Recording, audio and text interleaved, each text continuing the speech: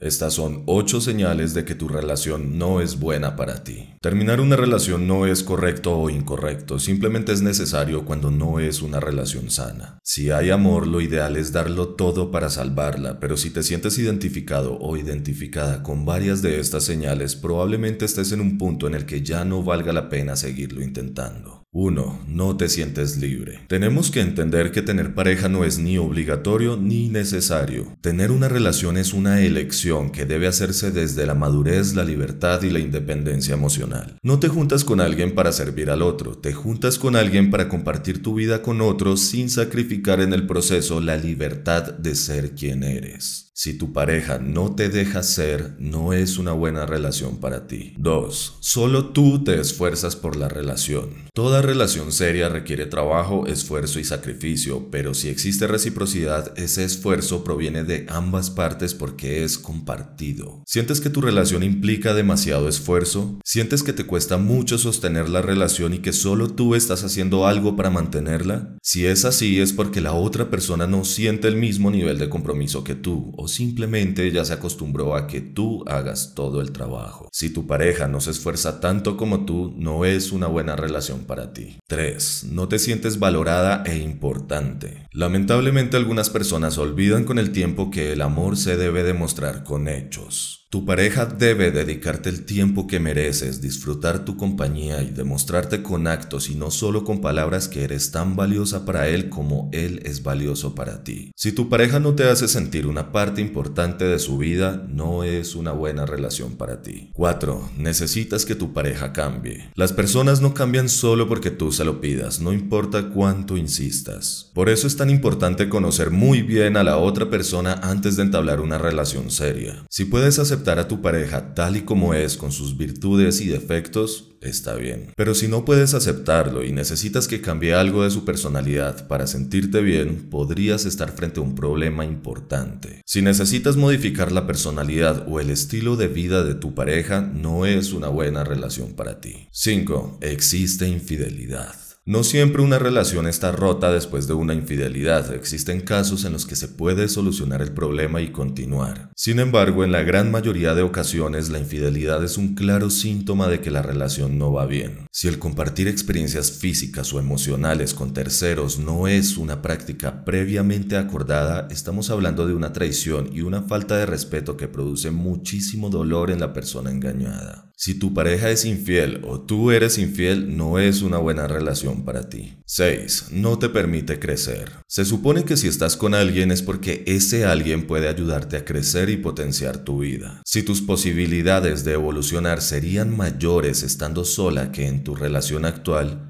¿Por qué quedarte estancada y perder años de tu vida solo para satisfacer a alguien más? Si tu pareja te impide crecer como persona, no es una buena relación para ti. 7. No existe comunicación. Una comunicación inexistente es una muestra de un profundo desinterés de parte del otro. Es imposible leer la mente de las personas y sin una comunicación adecuada la relación se deteriora con el tiempo. Las conversaciones incómodas son necesarias y es esencial poder expresar lo que y también estar en capacidad de escuchar al otro. Si no existe una comunicación asertiva, no es una buena relación para ti. Si te sientes identificado o identificada con una o varias señales de esta lista, hazte la pregunta.